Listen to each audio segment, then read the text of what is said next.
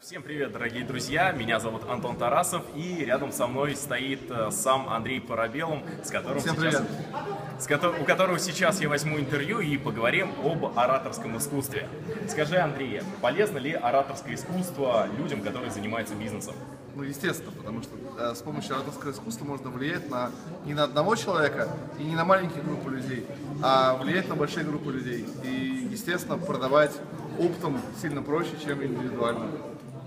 Помогает ли ораторское искусство людям, которые работают в интернете, которые занимаются, в том числе, Ну, инфобизнесом? смотря чем, потому что если ты копирайтер, тебе не нужно ораторское искусство полностью.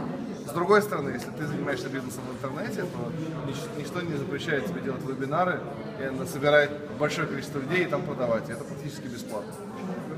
И один, наверное, из самых интересных для меня вопросов, связанных с личностным ростом. А, Правда ли, что люди, которые ораторами являются, которые занимаются ораторским искусством, они это помогает им развиваться личностно и, в принципе, как дисциплинирует, реализовывает их? А, обязательно, потому что сцена как большой гигантский микроскоп. Она вытаскивает тебя и из тебя показывает все, даже все, что ты хотел скрыть. Видно становится и твои плюсы, и твои минусы, и твои э, недосказанные вещи, и то, что ты говоришь одно, а делаешь другое, заставляет соответствовать. Начинаешь быть персонажем, начинаешь соответствовать. Кро- э, Кроме личностного роста ничего не получается, приходится расти. Сцена заставляет тебя расти. И э, заключающий вопрос, э, влияет ли навык ораторского искусства на деньги? Напрямую. Чем лучше продаешь, чем больше влияешь на людей, тем больше денег приходит. Потому что э, в психологии есть такое выражение, что нельзя прочитать одного конкретного человека, но можно прочитать среднего человека. Потому что если у вас большое количество людей, если вас слушает или смотрит большая аудитория, то прочитать среднее арифметическое очень просто, и на них влиять становится сильно проще.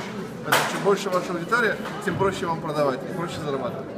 Ну и напоследок, э, пожелай людям заниматься ораторским искусством, ну и какой-нибудь 100 выступлений, реально, первые 100 выступлений у вас будут не очень хорошие, себя переслушать при этом не надо, чтобы не расстраиваться, но чем больше вы будете выступать, тем лучше вы будете выступать. Это навык, это не знание о том, как выступать, вам нужно просто отработать 100, 100 своих первых выступлений, поэтому удачного вам 101 выступления.